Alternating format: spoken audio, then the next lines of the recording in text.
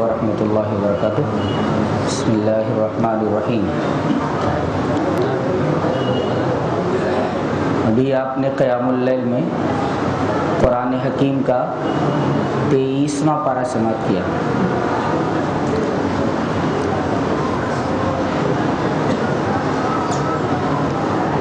سورہ یاسین چل رہی ہے اس میں اصحاب یاسین کا قصہ بیان کیا گیا۔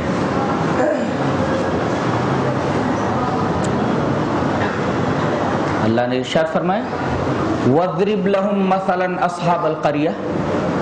اے ہمارے حبیب صلی اللہ علیہ وسلم، آپ گاؤں والوں کا، بستی والوں کا واقعہ ان سے بیان کر دیجیے۔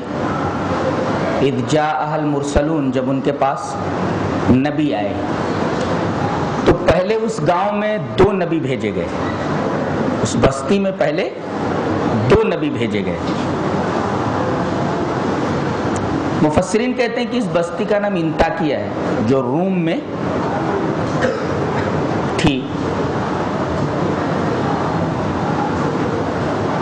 جب یہ دو اس بستی میں پہنچے، تو بستی والوں نے کی بات ماننے سے انکار کر دیا۔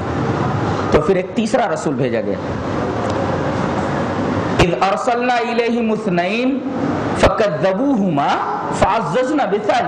پہلے دو رسول بھیجے گئے، اب جب دونوں کا انکار کر دیا انہوں نے، تو ایک تیسرا رسول بھیجا گیا۔ انہوں نے ان تینوں رسولوں کا انکار کر دیا۔ انہوں نے رسولوں سے تین باتیں کہی۔ پہلی بات قالوا ما انتم الا بشر مثلنا. تم تو ہماری ہی طرح کے انسان ہو. اس کا مطلب یہ ہوا کہ لوگوں کو ہمیشہ اس بات میں کنفیوژن رہا ہے کہ آیا ایک انسان رسول ہو سکتا ہے؟ پہلے لوگوں کا اعتراض یہ تھا کہ رسول بشر کیسے ہو سکتا ہے؟ اور آج اعتراضات کیا ہیں کہ بشر رسول کیسے ہو سکتا ہے؟ شبہ وہی ہے، عقیدہ وہی ہے، دونوں میں کوئی فرق نہیں ہے۔ ایک بات اور سمجھ لیں کہ دو رسول پہلے بھیجے گئے، دونوں کی تکذیب جب بستی والوں نے کر دی تو ایک تیسرا رسول کیوں بھیجا گیا؟ وجہ اس کی یہ ہے کہ تین چیزوں سے کوئی بھی بات مکمل ہو جاتی ہے۔ جیسے ایک مرتبہ بھی آزائے وضو کو دھل لیجیے تو وضو ہو جاتا ہے۔ دو مرتبہ دھل لیجیے تب بھی وضو ہو جاتا ہے۔ لیکن تین مرتبہ دھلنے پر وضو انتہائی کامل ہو جاتا ہے۔ اپنے درجہ کمال کو پہنچ جاتا ہے۔ اگر آپ کائنات میں غور کریں تو آپ کو پتا چلے گا کہ اللہ تبارک و تعالیٰ نے ہر چیز کی تین ہی قسمیں بنائی ہیں۔ تخلیق انسانی پر غور کریں، ایک ہے مذکر، ایک ہے مونس مرد اور عورت، اور بیچ میں ایک ہوتا ہے مخنس جو نہ مرد ہوتا ہے، نہ عورت ہوتی ہے۔ اسی طرح، عقائد کے باب میں بھی تین ہی قسمیں ہیں۔ کافر، مومن، منافق۔ کافر تو کھلا اصول اسلامیہ کا انکار کر دیتا ہے اور مومن تمام اصول اسلامیہ کو مانتا ہے۔ اور منافق مانتا بھی اور نہیں بھی مانتا۔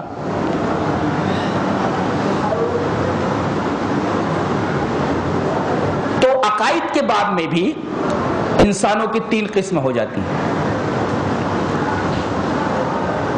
یہی وجہ ہے کہ قیامت کے دن انسانوں کو تین گروپ میں بانٹ دیا جائے گا۔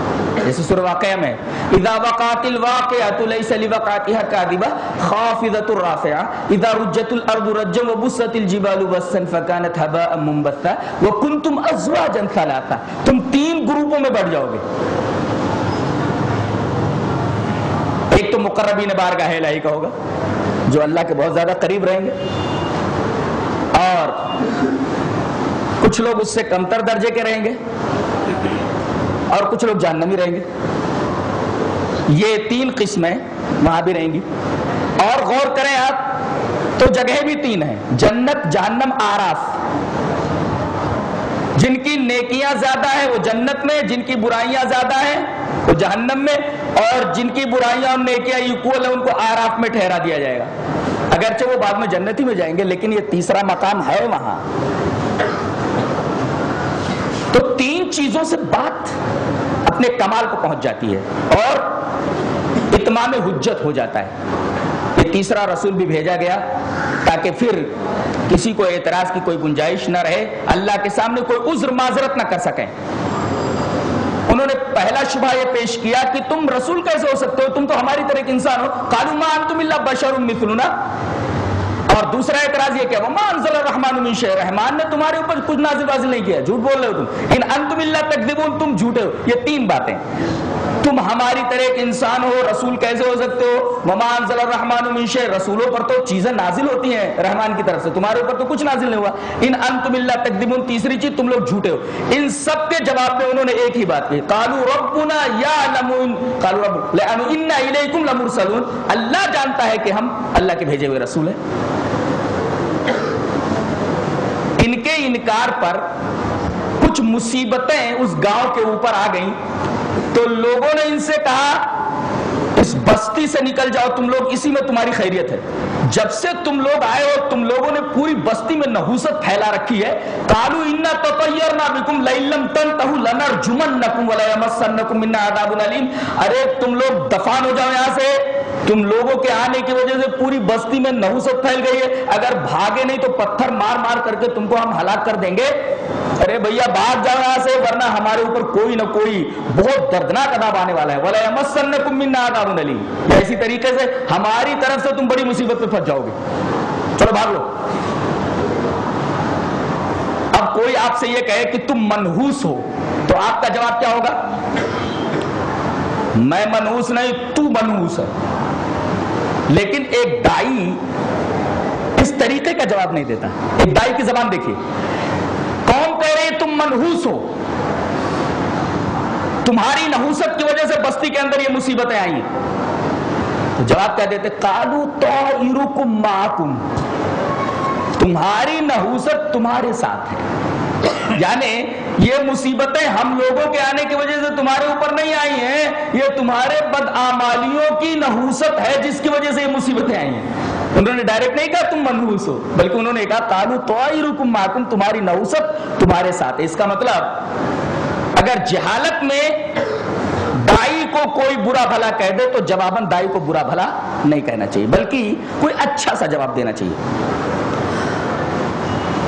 بیچارہ بستی کے آخر میں رہتا تھا۔ وہ ایمان لے آیا تھا۔ اس لیے کہ ہر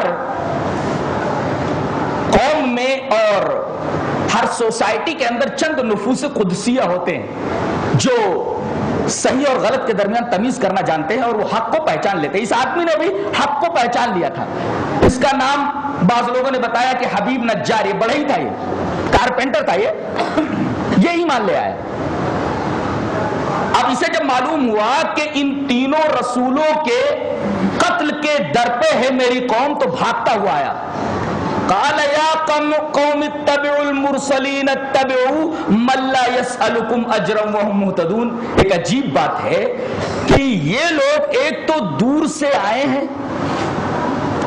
دور سے آئے ہیں تمہیں بتانے کے لیے حق بات اور اس پر جو ہے تم سے کوئی اجر بھی نہیں مانگ رہے اور ان کی سیرت بے داغ ہے۔ دیکھیں اس آدمی نے نبوت کی صداقت پر سارے دلائل سمیٹ کر رکھ دیے کہ نبی وہ ہوتا ہے جو اجر نہیں مانگتا اپنے عمل کے اوپر اور دوسرے یہ کہ اس کی سیرت بے داغ ہوتی ہے۔ ذرا اے میری قوم کے لوگوں سوچو کہ ایک تو یہ کہیں سے بھی خراب لوگ دکھتے ہیں کیا؟ کتنے اچھے لوگ ہیں، ان کی سیرت، ان کا کیریکٹر دیکھو، ان کی سیرت بے داغ ہے۔ ایک تو یہ، اور دوسرے یہ کیا، اتنی دور سے آئے ہیں جو کام کر رہے ہیں۔ تمہیں جو اچھی اچھی باتیں بتا رہے ہیں کیا، اس پر اجر مانگ رہے کیا؟ ملا یس الکم اجرا وہ محتدن وہ محتدن سے مراد ان کی سیرت بے داغ۔ اور ملا یس الکم تم سے اجر نہیں مانگ رہے ہیں۔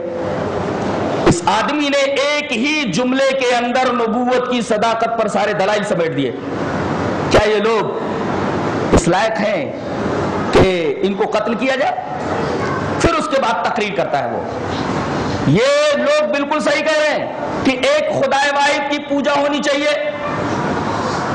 بمالی اللہ آبد البی فطورنی ارے، کیا ہو گیا ہے مجھے کہ میں اللہ کو چھوڑ کر کے دوسروں کی عبادت کروں اور جن کو تم پوچھ رہے ہو نا رحمان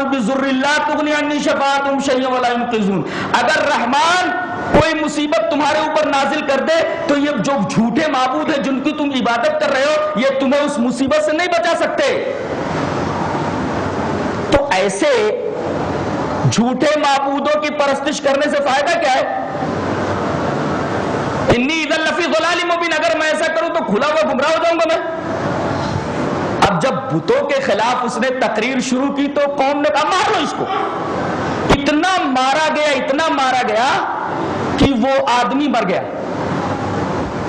اللہ تبارک و تعالی نے ارشاد فرمایا کہ جیسے ہی اس کی روح کفس انسری سے نکلی، فرشتوں نے اس کی روح کو لے جا کر کے جنت میں ڈال دیا۔ اور جب یہ جنت میں پہنچا، ایک بات یاد رکھیے کہ شہداء کے لیے ایک مخصوص معاملہ ہے۔ وہ لوگ، ان لوگوں کے لیے برزخ نہیں ہے، وہ ڈائریکٹ جنت میں پہنچ جاتے ہیں۔ اور حدیث پاک میں ہے کہ ان کی روحوں کو سبز پرندوں کے قالب میں ڈال دیا جاتا ہے۔ وہ دن بھر جنت کے درختوں کے اوپر گھومتے پھرتے رہتے ہیں، چہچہاتے رہتے ہیں۔ اور جب شام ہوتی ہے تو عرش کے نیچے جو قندیلیں لٹکی کنا دین معلقہ جو لٹکی ہوئی قندیلیں ہوتی ہیں، اس میں آ کر بسیرا کرتے ہیں۔ شہداء کا ایک خاص مقام ہے اور اللہ تعالیٰ نے ان کے ساتھ ایک خاص معاملہ کر رکھا ہے۔ یہ جب جنت میں پہنچا تو کہنے لگا، یا لیت قومی عالمون کاش کی میری قوم کو مجھے علم ہوتا۔ بما غفر علی ربی وجعلنی من المکرمین کی توحید کی برکت کی وجہ سے اللہ نے میرے سارے گناہوں کو معاف کر دیا اور میرا بڑا اکرام کیا ہے، میرا بڑا اعزاز کیا ہے۔ وجعلنی من المکرمین، جن کی عزت کی جاتی ہے۔ بڑا باوقار مجھے بنایا، بڑا عزت والا بنایا کاش کی میری قوم کو اس بات کا علم ہوتا۔ یہاں ٹھہر کر ایک نقطہ ذہن میں رکھیں کہ یہ آدمی بے گناہ مارا گیا۔ اسے تو اپنی قوم کے اوپر برفروختہ ہونا چاہیے، مشتعل ہونا چاہیے، غصہ کرنا چاہیے۔ یہ جنت میں پہنچنے کے بعد بھی اپنی قوم کا خیر خواہ ہے۔ اور قوم بھی کیسی غیر مسلم قوم ہے۔ مسلمانوں کو تعلیم دی جا رہی ہے کہ تم ہمیشہ انسانیت کے خیر خواہ رہو۔ چاہے وہ مسلمان ہو، چاہے غیر مسلم ہو، ہر ایک کے ساتھ تم اچھے رہو، امن کے ساتھ رہو، امان کے ساتھ رہو۔ اور جس طرح تم مسلموں کا بھلا چاہتے ہو، تمہاری ذات سے کسی غیر مسلم کو بھی تکلیف نہ پہنچے۔ یہ مرنے کے بعد بھی اپنی قوم کے بارے میں سوچ رہا ہے۔ کاش میری قوم کو علم ہوتا۔ اللہ تبارک و تعالیٰ نے مجھے توحید کی برکت کی وجہ سے کس طرح معاف کر دیا اور میرا اعزاز فرمایا، کاش میری قوم کو اس بات کا علم ہوتا۔ ایک مومن صادق کا وطیرہ یہ ہونا چاہیے کہ وہ مسلمانوں کے ساتھ بھی خیر خواہی برتے اور غیر مسلموں کے ساتھ بھی وہ خیر خواہ رہے۔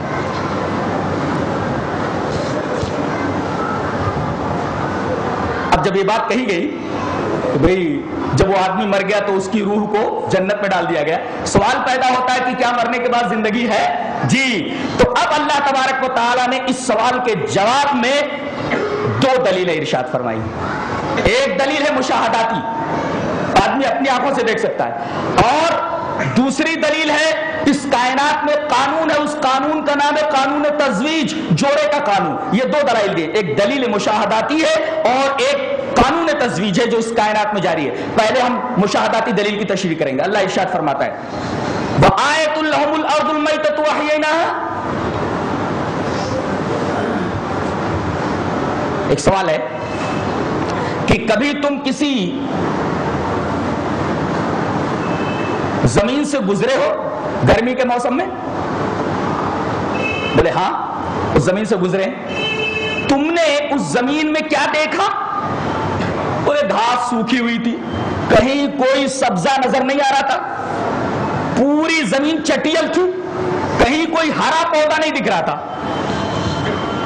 اچھا اچھا اسی زمین سے تم بارش کے موسم میں گزرے ہو؟ بولے ہاں اسی زمین میں تم نے بارش میں کیا دیکھا؟ کہا کہ ہر طرف ہریالی۔ کہا کہ گرمی کے موسم میں تمہیں کچھ نظر نہیں آیا اور برسات کے موسم میں وہی زمین سرسبز و شاداب نظر آئی۔ کیوں؟ کیوں؟ وہ زمین مر گئی تھی اور ہم نے پانی برسا کر کے اس زمین کو زندہ کیا۔ تو زمین کے زندہ اور مردہ ہونے کا مشاہدہ تم اپنی آنکھوں سے کرتے رہتے ہو۔ اسی طریقے سے سور جب پھونکا جائے گا تو سور بمنزل آسمان سے اترنے والی بارش کے ہوگا۔ اور جب سور پھونکا جائے تو سب لوگ اپنی اپنی قبروں سے اٹھ کر کھڑے ہو جائیں گے۔ یہ دلیل مشاہداتی ہے مردہ زمین کو ہم زندہ کرتے ہیں۔ وہ آیت الحم الارض ان کے لیے نشانی زمین ہے۔ ہم اس زمین کو زندہ کر دیتے ہیں۔ اس کے مرنے کے بعد۔ یہ ہے ایک مشاہداتی دلیل قانون تزویج اللہ فرماتا ہے، اس کا کائنات میں ہم نے ایک قانون جاری کر رکھا ہے۔ اس قانون کا نام ہے قانون تزویج جوڑے کا قانون۔ دنیا میں ہر چیز اپنا جوڑا رکھتی ہے۔ مرد کا جوڑا، عورت عورت کا جوڑا، مرد۔ گورے کا اپوزٹ کالا، کالے کا اپوزٹ گورا ناٹے کا اپوزٹ لمبا، لمبے کا اپوزٹ ناٹا۔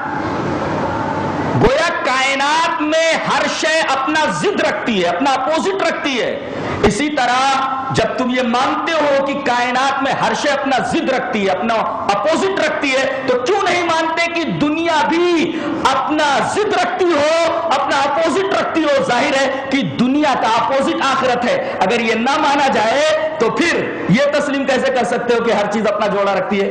لہذا ہر چیز اپنا جوڑا رکھتی ہے، تو دنیا کو بھی ایک جوڑے کی ضرورت ہے اور وہ آخرت ہے۔ اور ایک بات یاد رکھو کہ جب تک چیز اپنے جوڑے سے نہ ملے، تب تک اس کا مقصد پورا نہیں ہوتا۔ جیسے مرد عورت سے نہ ملے تو بچہ پیدا نہیں ہوتا۔ ایسے ہی مرد عورت کے ملنے پر تب مقصد پورا ہوتا ہے۔ ایسے ہی دنیا آخرت کے ساتھ نہ ملے تو پھر دنیا کے بنانے کا مقصد ہی بیکار ہو جاتا ہے اور اللہ تبارک و تعالیٰ کوئی بے مقصد کام نہیں کرتا۔ اتنا شاندار استدلال ہے قرآن حکیم کا قانون تزویج سے کہ اس کائنات میں قانون جاری ہے، وہ قانون تزویج ہے، جوڑے کا قانون۔ ہر شے اپنا جوڑا رکھتے ہے، لہٰذا دنیا بھی اپنا ایک جوڑا رکھتی ہے، وہ آخرت ہے۔ رہا ری انکارنیشن کا جو کانسیپٹ ہے، پنرجنم کا، جس کو انگریزی میں کہتے ہیں ری انکارنیشن پنرجنم اس کا جو کانسیپٹ ہے، اس کا جو تصور ہے بالکل الوجیکل ہے. غیر منطقی ہے. غیر منطقی ہے. مثلا ایک آدمی ہائر کاسٹ کا ہے. اب یہاں کسی اونچی ذات میں پیدا ہوا ہے وہ کہتے ہیں کہ اگر اونچی ذات والا آدمی کوئی برا کام کرتا ہے تو مرنے کے بعد کسی اور عالم میں نہیں بھیجا جاتا، بلکہ دنیا ہی میں اس کو سزا دی جاتی ہے اس طرح کہ اس کا جون بدلتا جاتا ہے۔ مختلف جون میں وہ رہتا ہے۔ مطلب کتا بنا دیا جاتا ہے، بلی بنا دیا جاتا ہے۔ تو اب ایک آدمی ہائر کاسٹ کا ہے اور in the next life he is born the lowest caste یا لوور کاسٹ یہ اس سے کمتر درجے کے کاسٹ کے اندر پیدا ہوتا ہے۔ اور پھر برائی کرتے کرتے کرتے کرتے ایک کیڑا بن جاتا ہے۔ اب یہ کیڑا کیا نیکی کرے گا؟ یا کتا بنا دیا گیا تو کتا کیا نیکی کرے گا کہ دوبارہ ہائر کاسٹ میں پہنچ جائے؟ بلی بنا دیا گیا۔ اب بلی کیا نیک کام کرے گی کہ دوبارہ اسے ہائر کاسٹ کے اندر بھیج دیا جائے؟ اس لیے کہ بلی کے اندر وہ جو ڈسٹنکٹ کیریکٹرسٹک ہے جو ڈیفرینشیٹ کرتی ہے، جو ممتاز کرتی ہے ایک انسان کو ایک حیوان سے، وہ چیز تو حیوان کے اندر ہے ہی نہیں۔ وہ نیکی کیسے کرے گا؟ اس کے اندر تو خیر و شر کا مادہ ہی نہیں ہے کہ وہ سمجھ سکے کہ غلط کیا صحیح کیا ہے۔ مفید اور مضر کی تقسیم تو ہے حیوانوں کیا لیکن غلط کیا ہے اور صحیح کیا اس کا شعور ان کیا نہیں ہے۔ لہذا وہ کیا نیک کام کرے گا؟ کتا۔ بلی کیا نیک کام کرے گی کہ وہ ہائر کاسٹ کے اندر پہنچ جائے؟ لہذا یہ کہنا بالکل صحیح ہے کہ ری انکارنیشن کا جو کانسیپٹ ہے، بالکل ہی لاجیکل ہے، غیر منطقی ہے۔ کوئی اس کو تسلیم نہیں کرتا۔ اچھا یہ بتاؤ کہ برے لوگوں کی تعداد زیادہ ہے کہ اچھے لوگوں کی؟ برے لوگوں کی تعداد. اب برے لوگ جتنے ہیں وہ کتے اور بلی بنتے جا رہے ہیں، تو انسانی آبادی گھٹنی چاہیے نا.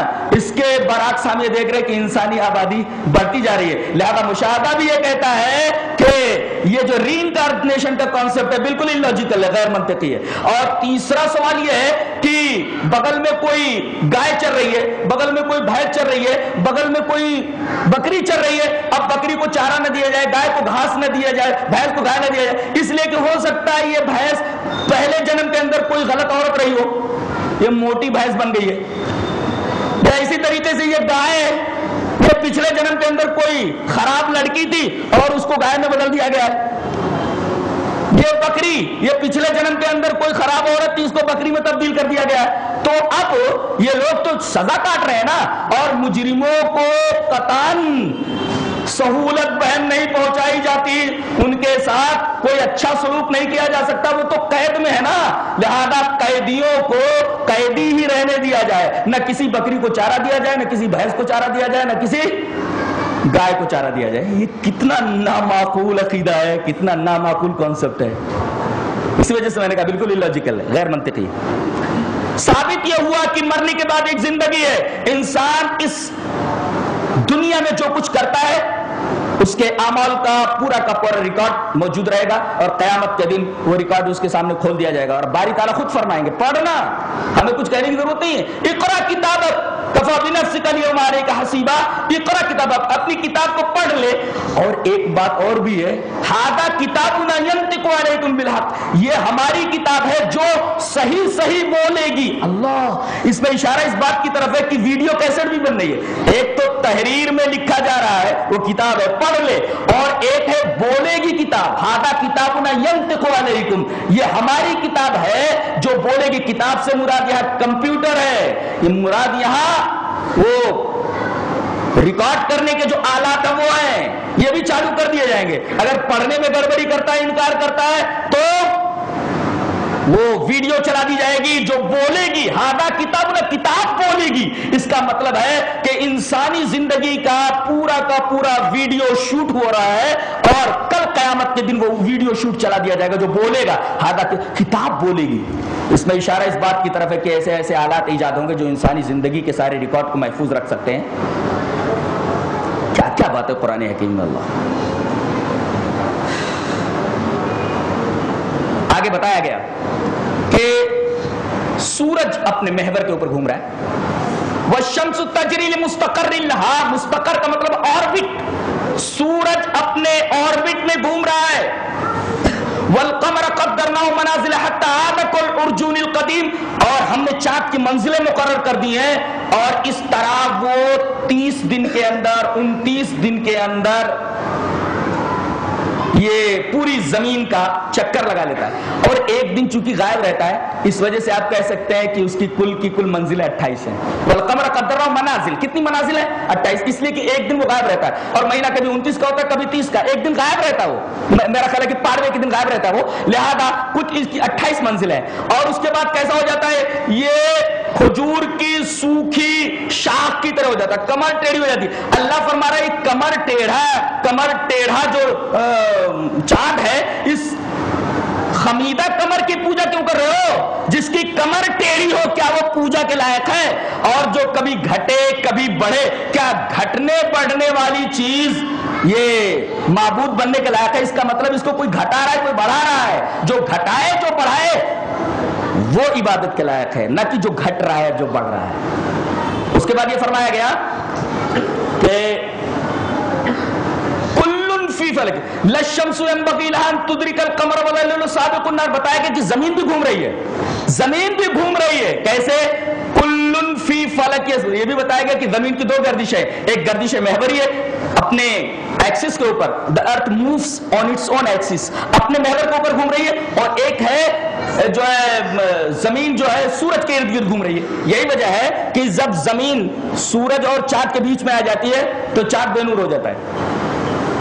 اب دیکھو کلن فی فلک یسبحون ہر ایک اپنے مدار میں گھوم رہے ہیں۔ چاند کی بھی ایک گردش ہے محوری اور ایک گردش ہے مداری اور اسی طرح زمین کی بھی ایک گردش ہے محوری اور ایک گردش مداری۔ کلن فی فلکن کو پڑھیے۔ کلن فی فلکن، اس طرف سے پڑھو تو کلن فی فلکن اور الٹا پڑھو تو کلن فی فلکن۔ پڑھ کے دیکھیے۔ کاف، لام، کل، فی، فلکن، اب ادھر سے پڑھو۔ کل کلن فی فلکن ادھر سے پڑھو تو کلن فی فلکن ادھر سے پڑھو تو کلن فی فلکن اشارہ اس بات کی طرف ہے کہ چاند کی زمین کی سورج کی دو دو گردشیں ہیں ایک تو اپنے محور کے اوپر اور ایک اپنے مدار کے اوپر اپنے آربٹ کے اندر اور یسبحون گھومنے کی کیفیت کیا ہے یہ تیلی کے بیل کی طرح نہیں گھومتے بلکہ جیسے تیر رہے ہوں سبہا یسبح مانے تیرنا ان کے چلنے کا انداز ہے جیسے کوئی چیز کوئی مچھلی پانی میں تیر رہی ہو بالکل یہی انداز ہے ان کے چلنے کا۔ قرآن حکیم نے وہ انداز بھی بتا دیا کہ ان کے تیرنے کا طریقہ کیا ہے، ان کے چلنے کا طریقہ کیا ہے۔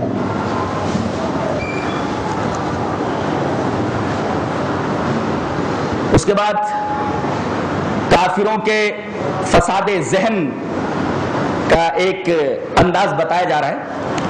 وَإِذَا قِيلَ لَهُمْ أَنفِقُوا مِمَّا رَزَقَكُمُ اللَّهُ قَالَ الَّذِينَ كَفَرُوا لِلَّذِينَ آمَنُوا أَنُطْعِمُ مَن لَّوْ يَشَاءُ اللَّهُ وَطَعَمَهُ إِنْ أَنتُمْ إِلَّا فِي ضَلَالٍ مُبِينٍ۔ جب کہا جاتا ہے کافروں سے کہ اللہ کے راستے میں خرچ کرو، غریب لوگوں کو دو بھائی، جو غریب ہے، ان کو دو انفقوا مما رزقكم اللہ تو کافر کیا جواب دیتے ہیں؟ قال الذين كفروا للذين آمنوا۔ کافر مومنوں سے کہتے ہیں ارے اللہ، جس کو بھوکا رکھنا چاہتا ہے، تم کہتے ہو کہ ہم انہیں کھلائے یہ تو اللہ کی مشیت کے خلاف ہو گیا۔ جو بھوکا ہے، اللہ چاہ رہا ہے کہ بھوکا رہے۔ اللہ بھوکا رکھ رہا ہے نا؟ تو اللہ کی مشیت سے وہ بھوکا ہے۔ تو اللہ جس کو بھوکا رکھنا چاہے، تم کہہ رہے ہو کہ ہم ان کو کھلائے یہ تو بڑی گمراہی کی بات ہے۔ انہوں تم اللہ کی ضلال مبین کھلی ہوئی گمراہی میں ہو۔ اللہ تبارک تعالیٰ جواب دے رہا ہے۔ ایک ہے میری مشیت اور ایک ہے میری رضا۔ میری مشیت سے عطر بھی ہے، گلاب کا، اور میری مشیت سے پیشاب بھی ہے۔ میری مشیت سے پیشاب بھی نکلتا ہے، اور میری مشیت سے گلاب کے اندر سے عطر نکلتا ہے۔ لیکن کوئی آدمی بدن کے اوپر عطر لگائے تو میں راضی ہوں، اور کوئی پیشاب لگائے تو میں راضی نہیں ہوں۔ دونوں چیزیں میری مشیت سے۔ اشارہ اس بات کی طرف کیا گیا کہ کوئی بھی اپنی برائی کے اوپر اللہ تبارک و تعالیٰ کی مشیت کو عذر کے طور پر نہ پیش کرے، بہانہ نہ بنے اللہ تبارک و تعالیٰ کی مشیت کا۔ اللہ کی مشیت سے تو ساری چیزیں ہے گلاب سے نکلا ہوا عطر بھی اور بدن سے نکلا ہوا پیشاب بھی۔ لیکن عطر کو بدن پر لگانے سے اللہ راضی ہوتا ہے اور پیشاب لگانے سے ناراض ہوتا ہے۔ اور یہی فارمولا وہ اپنے بچوں پر کیوں اپلائی نہیں کرتے کہ بچہ جب بھوک سے بل بلائے دودھ مانگے تو وہ دودھ مانگ رہا ہے نا، تو یہ اپنے بچوں کو دودھ کیوں پلاتے؟ یہ بھی ایسا کہے نا کہ اللہ جب اس کو تڑپانا چاہتا ہے، بھوک سے تو تڑپنے دو، اس کو دودھ پلانے کی کیا ضرورت ہے؟ یہ فارمولا اپنے اوپر کیوں اپلائی نہیں کرتے؟ یہ صرف مومنہ کے اوپر فارمولا اپلائی کرتے ہیں۔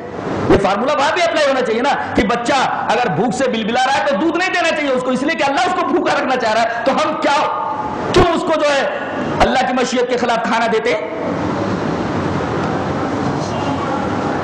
اس کے بعد یہ کہا گیا کہ کل قیامت کے دن مجرم کھڑے ہوں گے۔ اللہ پوچھے گا، تم نے ہمارے ساتھ شرک کیا؟ کیا کہیں گے؟ واللہ ربنا ما کننا مشرکین۔ ارے، اللہ کے حضور جھوٹ بولنے سے باز نہیں آئے گا یہ انسان۔ دیکھو، کتنا بڑا بدماش ہے انسان۔ اللہ پوچھے گا شرک کیا تھا نا ہمارے ساتھ؟ واللہ ربنا۔ اللہ کی قسم، اے ہمارے رب، ہم نے تیرے ساتھ شرک کیا ہی نہیں۔ ایک سوال ہم کریں گے کہ اللہ کے سامنے بندہ جھوٹ بولے گا، برابر ہے؟ لیکن قبر میں فرشتے جب سوال کریں گے تو جھوٹ نہیں بول سکتا جی۔ تو قبر میں فرشتوں کے سوال پر کہ مر ربو کا ما دینو کا من نبیو کا اس کے جواب میں بندہ جھوٹ نہیں بولے گا، فرشتوں کے سامنے جھوٹ نہیں بول سکتا، اللہ کے سامنے جھوٹ بول سکتا ہے۔ کیوں؟ جواب اس کا یہ ہے کہ فرشتے عالم الغیب نہیں ہیں، اللہ عالم الغیب ہے۔ فرشتوں کو کیا معلوم کہ یہ سچ بول رہا ہے کہ جھوٹ بول رہا ہے؟ لہذا وہ تو جو سنیں گے اسی کے مطابق فیصلہ کریں گے، وہ عالم الغیب نہیں ہے۔ لیکن باری تعالیٰ کے سامنے جھوٹ بولنے کی اجازت ہوگی۔ جھوٹ بول سکتا ہے بندہ، اس لیے کہ باری تعالیٰ کو معلوم ہے کہ یہ جھوٹ بول رہا ہے۔ اللہ عالم الغیب ہے۔ پھر کیا کرے گا؟ ٹھیک ہے۔ اب ایسا کرتے ہیں نا، تمہارے آزا سے پوچھ لیتے ہیں۔ زبان پر مہر۔ علی عمر، اگلی آیت۔ علی عمر، اختم علی افواہم و تکلم ایدیہم و تشہد ورجلہم بما كانوا یکسبون۔ آج ہم ان کے زبانوں کے اوپر مہر لگا دیں گے اور بات کریں گے ہم سے۔ ان کے ہاتھ بات کریں گے ہم سے۔ ان کے پیر۔ اور اس طریقے سے ان کے کرتوتوں کو بیما کارو صرف جو وہ کرتے تھے، ان کے ہاتھ بتا دیں گے۔ ان کے پیر بتا دیں گے، ان کے پیر گواہی دیں گے۔ یہ چیز فرشتے نہیں کر سکتے تھے، لہذا فرشتوں کے سامنے تو جھوٹ نہیں بول سکتے، اللہ کے سامنے جھوٹ بولیں گے۔ اور جب جھوٹ بولیں گے تو اللہ عالم الغیب ہے۔ فوراً کی زبان پر مہر لگا دے گا اور آدھا بات کریں گے اللہ تبارک و تعالیٰ سے، سچ سچ بتا دیں گے۔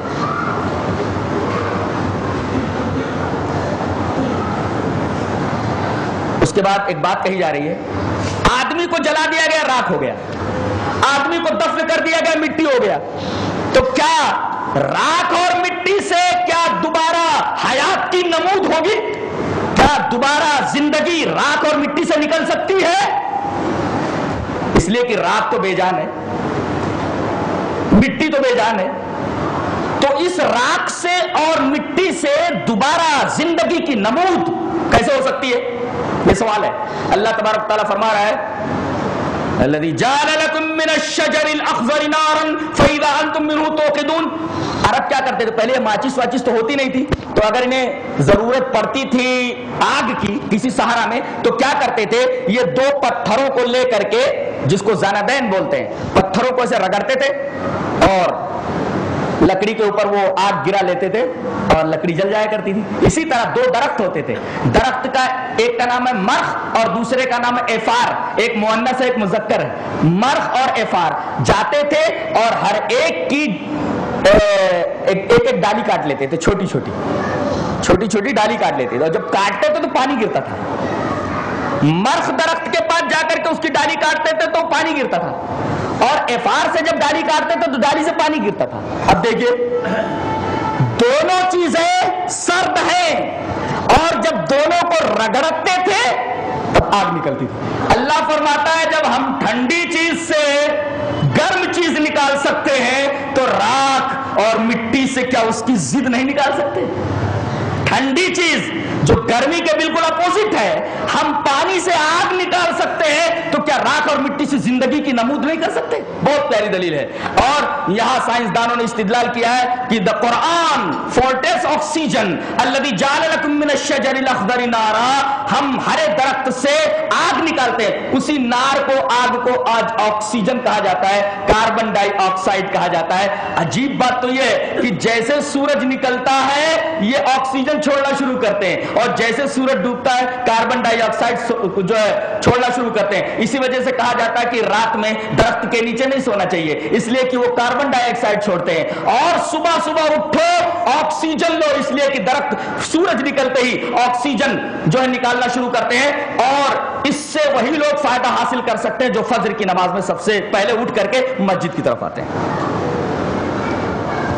یہ تصور، یہ کانسیپٹ آکسیجن کا قرآن حکم میں پیش کیا ہے کہ ہر ایک درخت سے آگ نکلتی ہے۔ آکسیجن آگ ہی تو ہے۔ جبکہ پانی کس سے بنتا ہے؟ آکسیجن سے اور ہائیڈروجن سے۔ ہائیڈروجن کے دو حصے ایچ ٹو اور آکسیجن کا ایک حصہ۔ ایچ ٹو او کے تناسب سے پانی بنتا ہے۔ آکسیجن کا ایک حصہ، ہائیڈروجن کا دو حصہ۔ اس سے مل کر پانی بنا۔ اور عجیب بات تو یہ کہ آکسیجن ایک خطرناک گیس ہے، جلا، جو ہے، جلانے والی۔ اور ہائیڈروجن جلانے کے عمل کو تیز کرنے والی۔ دونوں کی دونوں خطرناک گیس ہے اور اللہ تبارک و تعالیٰ نے ان دونوں خطرناک گیسوں کو ایک خاص تناسب سے ملا دیا تو آب حیات بن گیا۔ زندگی کا پانی بن گیا کہ اس کے بغیر آدمی زندہ نہیں رہ سکتا۔ اللہ اکبر کیا قدرت ہے اس کی؟ اس قدرت کے اوپر قربان جائیے کہ دو خطرناک گیسوں کو ایک خاص تناسب سے ملا دیا تو وہ چیز بن گئی جس پر مدار حیات ہے، جس کے بغیر آدمی زندہ نہیں رہتا زندگی نہیں بنپ سکتی اس کائنات کے اندر، اس کے بغیر۔ تو گویا، آکسیجن کی اور اسی طریقے سے ہائیڈروجن کی اس کی پیشن گوئی قرآن حکم نے کی۔ اس کے بعد سورہ صافات ہے۔ اللہ فرما دیو بہت کتنی پیاری بات کر رہے ہیں۔ وَالصَّافَّاتِ صَفًّا فَالزَّاجِرَاتِ زَجْرًا فَالتَّالِيَاتِ ذِكْرًا۔ إِنَّ إِلَٰهَكُمْ لَوَاحِدٌ۔ رَبُّ السَّمَاوَاتِ وَالْأَرْضِ وَمَا بَيْنَهُمَا وَرَبُّ الْمَشَارِقِ۔ سوال یہ ہے کہ اللہ کہیں کہتا ہے کہ میں مشرق کا رب ہوں، مغرب کا رب ہوں۔ کہیں کہتا ہے کہ دو مشرقوں کا اور دو مغربوں کا رب ہوں۔ یہاں دیکھو۔ رب المشرقین و رب المغربین۔ دو مشرقوں کا رب اور دو مغربوں کا رب۔ اور ایک ہے اللہ تبارک و تعالیٰ مشرق کا مالک مغرب کا مالک۔ کہیں واحد استعمال کرتا ہے کہیں تسنیہ استعمال کرتا ہے اور ایک جگہ, ایک جگہ کہہ رہا ہے رب السماوات والارض وما بینہما ورب المشارق۔ اس کا مطلب مشرق ایک نہیں ہے مشارق ہیں۔ اس کی ایک توجہ یوں کر سکتے ہیں کہ صرف زمین ہی میں مشرق اور مغرب نہیں ہے بس کہ اس کے علاوہ بہت ساری کائنات ہے بہت سارے سیارے ہیں جہاں ہر سیارے کا ایک مشرق ہے ایک مغرب ہے۔ زمین ہی خالی ایک سیارہ نہیں ہے اس زمین کے علاوہ بھی لاکھ تعداد سیارے ہیں۔ ظاہر ہے کہ ان کا مشرق اور مغرب ہے، تو بہت سارے مشارق اور مغارب ہوئے۔ اور اگر دنیا ہی کے اندر دیکھنا ہو مشارق اور مغارب، تو یہ سائنسدانوں کے لیے اللہ تبارک و تعالیٰ نے سوچنے کا ایک روٹ دیا ہے کہ جب سورج نکلتا تو ہر دن اپنے ایک ہی جگہ سے نہیں نکلتا۔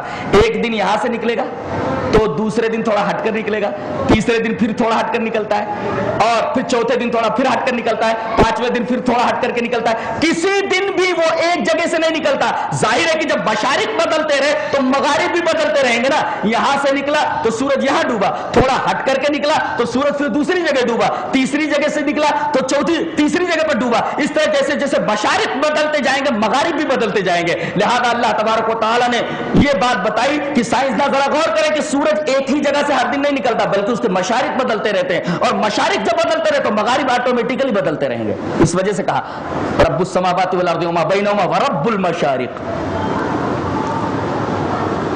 اس کے بعد علامہ جلال الدین سیوطی رحمۃ اللہ علیہ نے متعدد تابعین سے یہ ایک واقعہ نقل کیا ہے کہ قیامت کے دن دو آدمی ہوں گے۔ اصل میں یہ دونوں پارٹنر رہتے ہیں۔ اور جب یہ دونوں کسی دھندے کے اندر چار ہزار روپیہ کماتے ہیں، چار ہزار دینار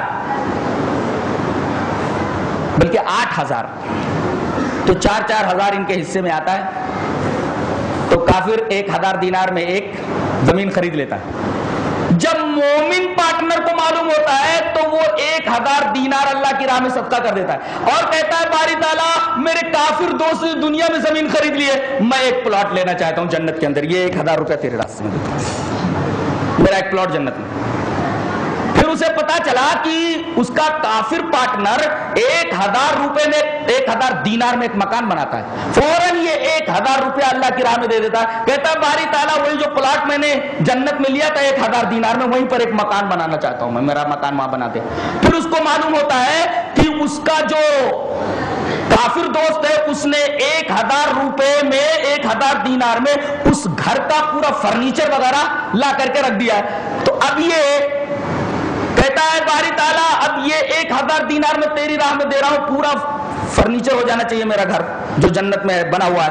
اور پھر اس کو معلوم ہوتا ہے کہ اس کا ایک اس کا جو کافر دوست ہے، وہ ایک عورت سے شادی کر لیتا ہے، مہر ایک ہزار دینار۔ یہ کہتا ہے، اللہ تبارک و تعالیٰ میرے کافر دوست نے ایک ہزار روپے میں شادی کی ہے اور ایک ہزار دینار جو اپنی عورت کے لیے مہر رکھا ہے۔ میں آج ہی سے یہ دی ایک ہزار دینار تیری راہ میں دیتا ہوں۔ یہ اس حور کی مہر ہے جس جنت کے اندر میں جس حور سے شادی کروں گا۔ آپ یہ دونوں کے دونوں وہاں پہنچتے ہیں۔ ایک جنت کے اندر جاتا ہے، ایک جہنم کے اندر۔ تو اب جو جنتی ہوتے ہیں، وہ بات کرتے رہتے ہیں۔ تو وہی دوست بولتا ہے کانا قائل منہم، انی کانا لی قرین۔ بولتا ہے، یار، میرا ایک دوست تھا دنیا میں۔ قرین مینس دوست، بالکل۔ قرین کا مطلب جو ہمیشہ ساتھ رہے، پارٹنر۔ کانا قائل منہم، انی کانا لی قرین۔ ارے، میرا ایک پارٹنر تھا، میرا بڑا گہرا دوست تھا۔ وہ بولتا تھا، یقول اینک لمن المصدقین، ارے تو مرنے کے بعد زندگی زندگی کو مانتا ہے، اے سب فضول باتیں، مرنے کے بعد کون زندہ ہوا ہے، کس کا حساب اور کس کا کتاب، اور موت کی سرحد پر سارا معاملہ ختم، آگے سننے سننے سننے کچھ نہیں، یقول اینک لمن المصدقین، ارے تو پاگل ہے، تصدیق کر رہا ہے، مرنے کے بعد کی زندگی کی ایدا مترا و کنہ تو رابو و ایداما نہیں لمدینون سر گھر کر کے مٹی ہو جائیں گے مرنے کے بعد، تو کیا دوبارہ اٹھائے جائیں گے، ایسا کیسے ارے یار وہ کہاں گیا وہ؟ دکھائی نہیں دے رہا، میرا دوست ہے وہ۔ اب اللہ تبارک تعالیٰ سوال کریں گے۔ کالا حالم تم متعلق دیکھنا چاہتا ہے؟ اس کو کدھر ہے وہ؟ دیکھنا چاہتا ہے؟ وہ کہاں گیا معلوم نہیں۔ اللہ فرمائے گا، دیکھنا چاہتا ہے اس کو کدھر ہے وہ؟ کالا حالم تم متعلق وہ تیرا ساتھی کدھر ہے؟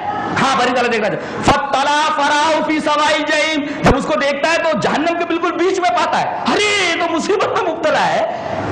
یہی وہ ہے۔ آخرت کا انکار کیا کرتا تھا، بالکل جاننے کے بیچ میں۔ اس کے بعد یہ اپنی نعمتیں دیکھتا ہے۔ اس کے بعد مارے خوشی کے بولتا ارے افما نہرو اب موت نہیں آئے گی کیا؟ ارے موت نہیں آئے گی تب تو مزے ہی مزے ہیں۔ دنیا میں تو ڈرا کرتے تھے کہ بھائی یہ نعمتیں ملی ملی ہے موت کے بعد چھن جائیں گی۔ افما نہنو بھی میتین کیا؟ اب موت نہیں آئے گی؟ یہ سن کر کے کہ موت نہیں آئے گی، موت تو ذبح کر دی گئی ہے ایک میڈے کی شکل میں، تو بہت خوش ہوگا کہ اب ان نعمتوں کے ملنے کے بعد اب موت نہیں ہے، بہت خوش ہوگا۔ اس کی خوشیوں کے اندر بہت زیادہ اضافہ ہو جائے گا۔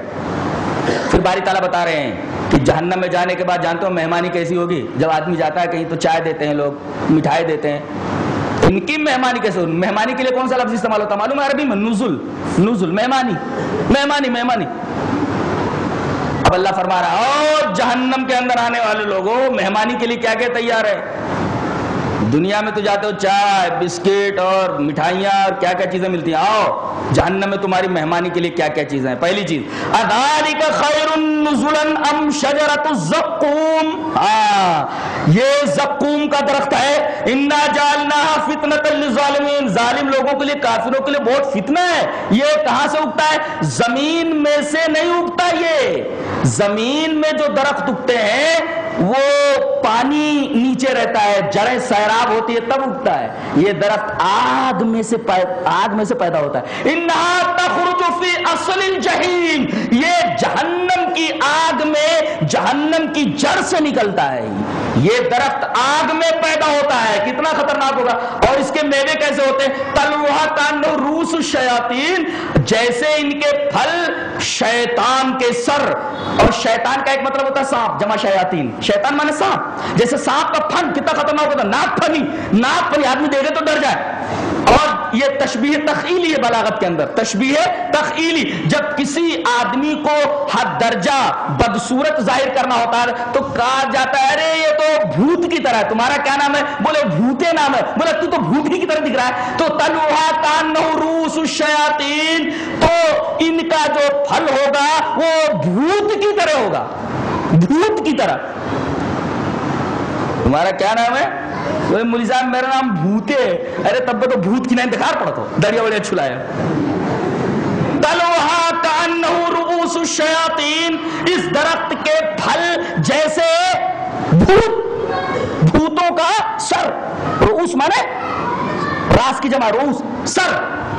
اور اسی طریقے سے شیاطین بھوت، بھوتوں کے سر۔ یہ جب کھانے کو لے اچھا جب کھائیں گے تو اٹک جائے گا یہ۔ فتنہ ہے نا، اٹک جائے گا۔ اب اٹکنے کے بعد چلائیں گے پانی۔ اب اللہ فرما رہا ہے، پانی، لو پانی۔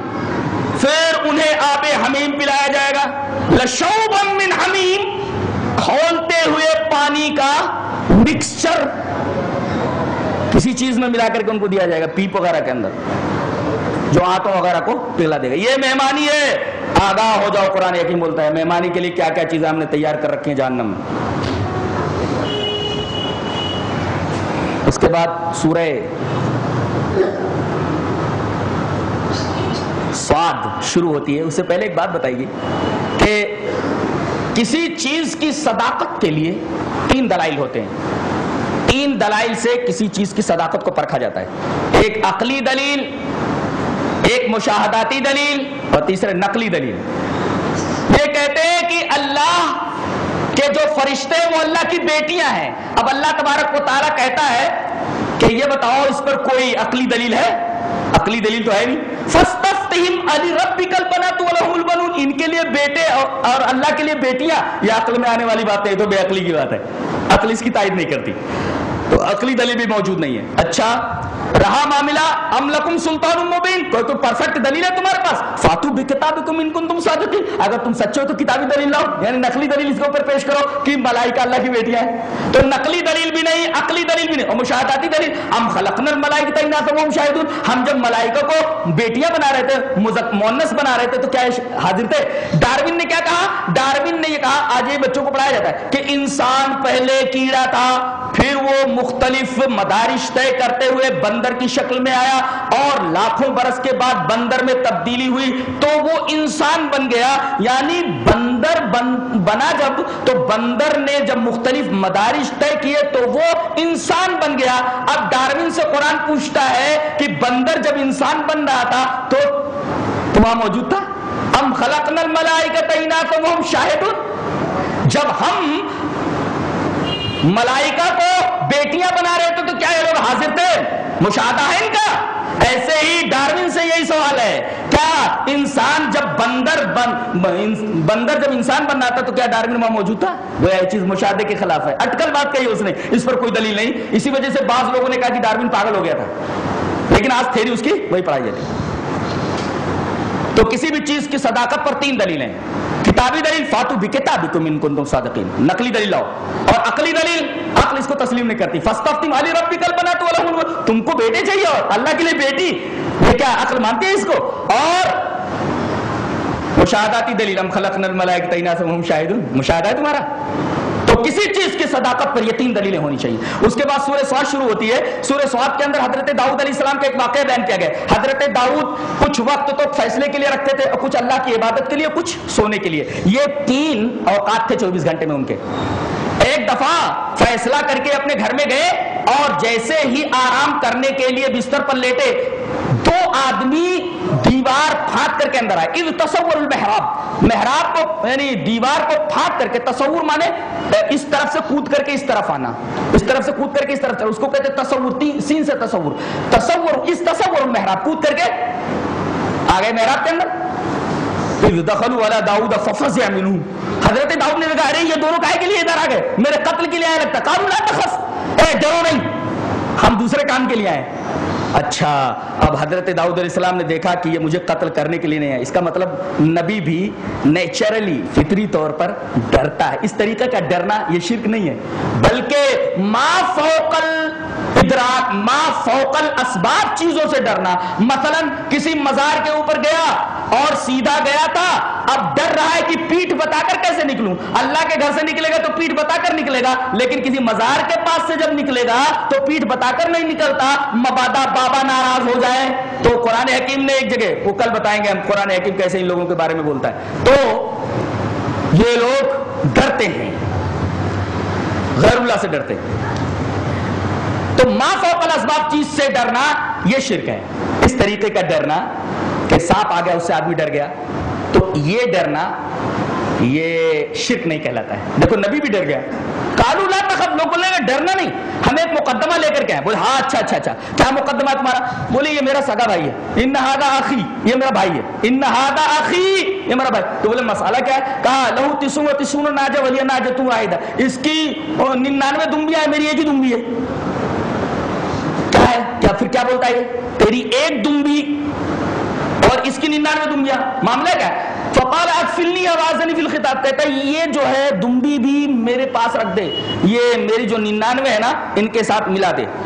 ہے؟ اکیلا کائے کو وقت برباد کرتا ہے، اس کو دن بھر چراتا رہتا ہے۔ میری دنبیوں میں رہے گی، یہ بھی چرے گی۔ وعزنی فی الخطاب، اور خطاب کے اندر بہت زور ڈالتا ہے یہ۔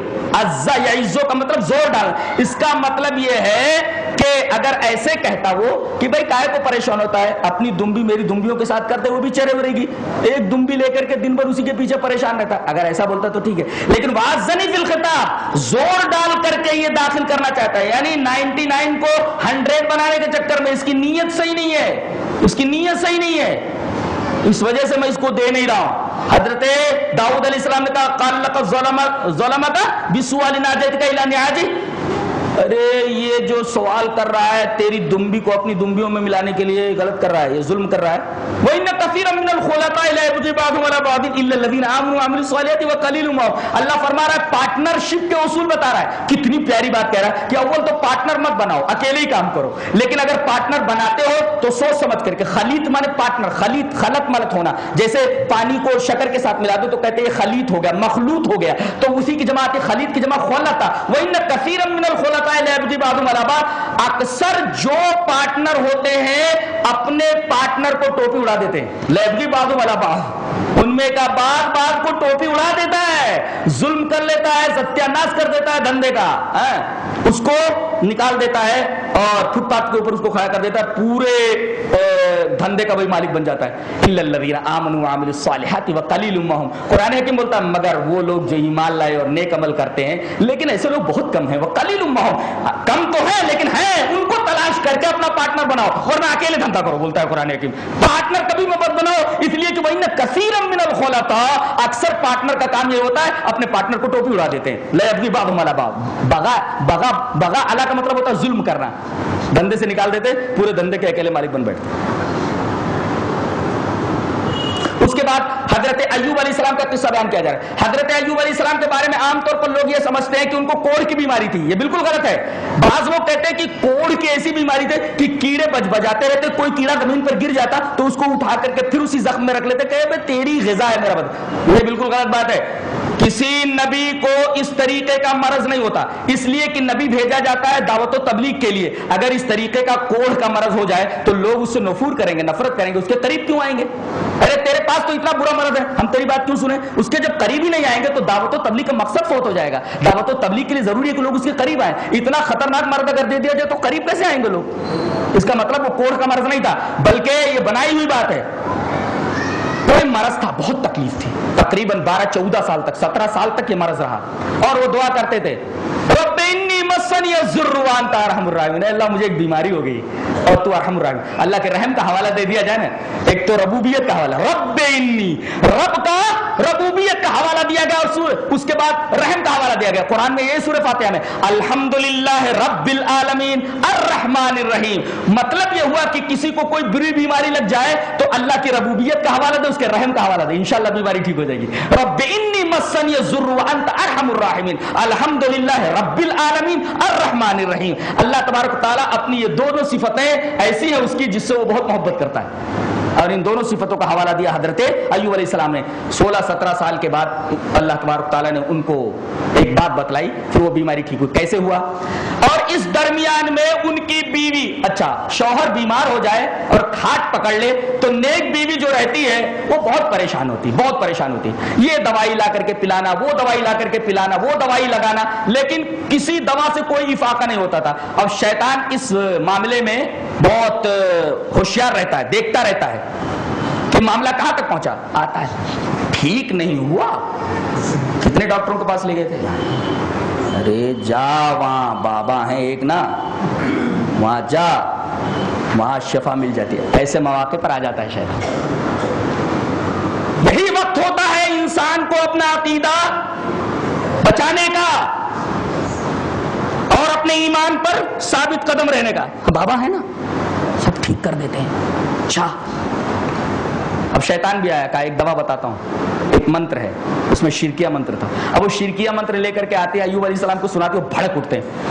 کہا کہ تیری مجال کیسے ہوئی؟ میرے گھر میں میری بیوی ہوتے ہوئے شرکیہ کم خدا کے قسم میں ٹھیک ہو گیا تو اسے سو کوڑے ماروں گا تجھ کو۔ تجھ کو سو کوڑے ماروں گا۔ پہلے تو کفارے قسم تھا ہی نہیں، ورنہ کفارہ دے دیتے ٹھیک ہو گئے۔ تو اب سو کوڑے مارنا، یہ قسم کھا لیا تھا انہوں نے۔ پہلے قسم کا کفارہ نہیں تھا، یہ تو ہمارے اسلام میں، مذہب اسلام ہمارے دین میں۔ قسم کا کفارہ تھا ہی نہیں، اب سو کوڑے مارنے تب اللہ تبارک و تعالی نے ان سے کہا کہ سو باریک باریک تیلیاں لے لو جھاڑو کی اور ایک مرتبہ مار دو۔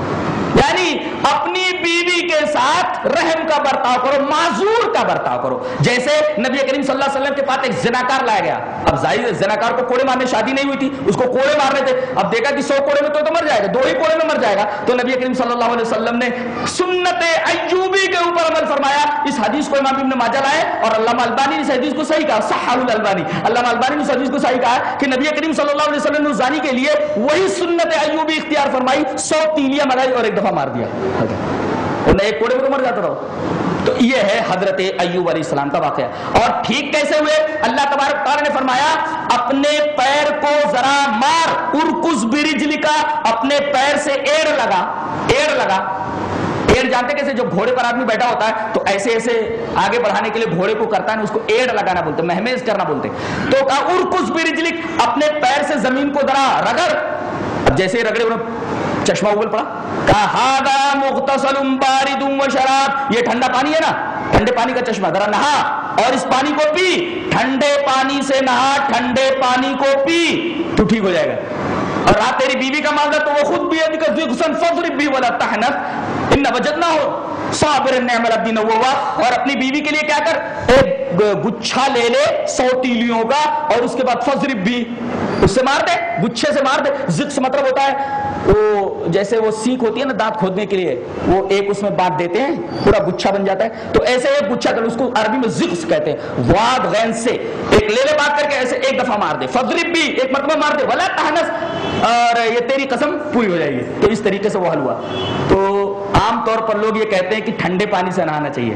جیسے گاؤں میں کہاں لوگ پہلے گرم پانی کرتے تھے؟ کنویں سے پانی نکالتے تھے سخت گرمی کے موسم میں کنویں ہی کے اوپر نہا لیتے تھے۔ تب ان کی صحت بڑی اچھی رہتی تھی۔ اب بمبئی میں آ کر کے یہ گرم پانی، یہ پھلا چیز، یہ پھلا چیز اور دنیا بھر کی بیماریاں لے کر گاؤں میں جاتے ہیں۔ یہاں تو بیماری ہے ان کے پاس، گاؤں میں بھی بیماریاں پھیلا کر کے آ جاتے ہیں یہ۔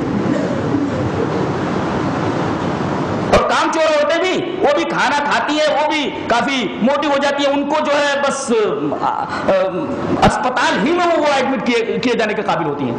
تو اس طریقے سے پہلے جو ماحول تھا اور پہلے جو معاملہ تھا، وہ معاملہ اب نہیں رہ گیا۔ ہاں مختصر بارد و شراب، یہ ٹھنڈا پانی نہانے کا چشمہ ٹھنڈے پانی سے نہا اور اس ٹھنڈے پانی کو پی، تیری یہ بیماری دور ہو جائے گی۔ اس کا مطلب ٹھنڈے پانی سے نہانے میں اور ٹھنڈا پانی پینے میں اللہ تبارک و تعالیٰ نے خاص قسم کی شفا رکھی ہے اور چشمے کا پانی ہو۔ وہ کنویں کا پانی ہوتا ہے۔ کنویں کا پانی بھی تو چشمہ ہی ہے۔ لہٰذا کنویں تو گاؤں میں بند ہو گئے۔ پتہ نہیں کہاں کہاں سے لوگ نل سے نکال نکال کر کے پانی پیتے ہیں۔ بہرحال وہ غنیمت ہے نل کا پانی آج بھی۔ لیکن یہاں سے یہاں تو پتہ نہیں فلٹرائز جو پانی آتا ہے، وہ بہرحال ایک طریقے کا نقصان ہی پہنچاتا ہے۔ اس کے بعد سورہ زمر شروع ہوتی ہے۔ سورہ زمر کے اندر اللہ تبارک و تعالیٰ نے ایک بڑی پیاری بات فرمائی کہ ایک بات بتاؤ کہ ایک آدمی ہے جو ایک آدمی کا غلام ہے۔ اور ایک آدمی ایسا ہے جو کئی آدمیوں کا غلام ہے۔ اور سارے کے سارے آقا متشاکس ہیں۔ بڑے ہی کٹر اور بڑے ہی بدماش۔ اب ایک کہتا ہے، اے بازار سے جا کر کے سبزی لیا تو دوسرا کہتا ہے، اے بازار جا رہا نا یہ چیزیں لیا اے وہاں نہیں جانا، ادھر چلا جا۔ تو اللہ تبارک تعالی نے مثال میں، ضرب اللہ مثلا رجلا فیہ شرکا و متشاکسون و رجلا سلما لرجل۔ ایک آدمی کے لیے ایک غلام سالم ہو اور ایک غلام مختلف آقا کا ہو۔ بتاؤ سکون کس میں ہے؟ بولے وہ آدمی سکون میں رہے گا جو ایک ہی آتا رکھتا ہو۔ تو ایسے ہی ہے، بہت سارے معبودوں کی عبادت کرو گے تو ایک کو بھی خوش نہیں کر پاؤ گے۔ ایک ہی معبود کی پوجا کرو، ایک ہی کی عبادت کرو، تم بھی سکون میں رہو گے اور اس کی بھی پوجا برابر ہو جائے گی۔ کتنا شاندار سوال ہے، اس سے بہتر سوال ہو نہیں سکتا۔ یہ تھا تیئیسویں پارے کو خلاصہ۔ اللہ ہمیں نیک عمل اور اچھی سمجھ کی توجہ عطا فرمائے۔ وآخر دعوانا الحمدللہ رب العالمین۔